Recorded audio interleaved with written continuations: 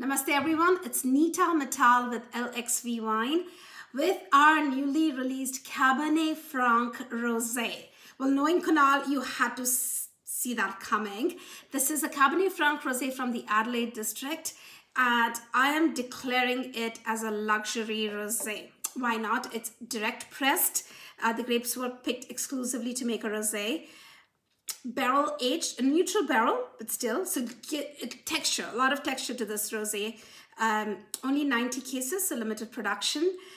This is just a vibrant wine. That's the word that comes to my mind. It's got strawberries, it's got raspberries, it has that rind of watermelon. And I know people hate it when you're so specific about it, but yes, I'm going with it. It's like the rind of watermelon. Great acidity.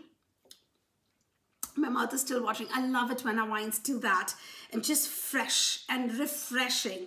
Uh, really great fruit. Um, a lot of that, uh, what people call Jolly Rancher, but in a good way, in a refreshing way. So to pair this, because there's so much going on with the wine, we kept the spice pairing very simple. Now, you know at LXV, every wine gets paired with this web of amazing flavors from all over the world. So with this, only three flavors, one complementing, one contrasting, one matching. So it is vanilla sugar with jalapeno and saffron. The vanilla sugar really complements the fruit in the wine. Also a little bit complements the texture, which was very interesting. The vanilla uh, plays with the, the, the oak notes in the wine, subtle oak notes, but still. Um, the saffron plays with the umami of the wine and really increase the length, the finish of the wine. And the jalapeno just dances in contrast with the vibrancy of the fruit. Uh, probably one of the most, like the simplest, yet one of the most interesting pairings that we have done. Oh boy, who could have thought that this wine could handle something so interesting?